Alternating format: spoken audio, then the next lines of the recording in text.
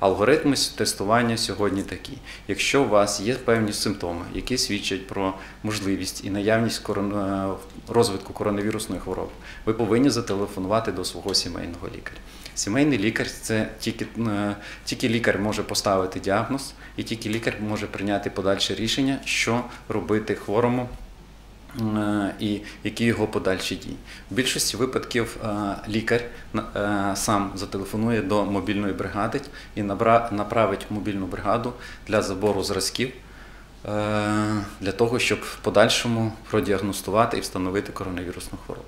У разі, якщо в людини відсутня декларація на підписану сімейному лікарем і є симптоми, які свідчать про е, можливе інфікування коронавірусною хворобою, людина повинна набрати е, 103 е, номер швидкої медичної допомоги.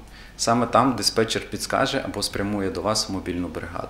Е, І в подальшому, знову ж таки, е, ми всім рекомендуємо залишатися вдома. В той же час е, рекомендація ця стосується тільки тих людей, які провели консультації в телефонному режимі зі своїм лікуючим лікарем або з лікарем, який знаходиться і консультує на гарячій лінії або диспетчером швидкої медичної допомоги.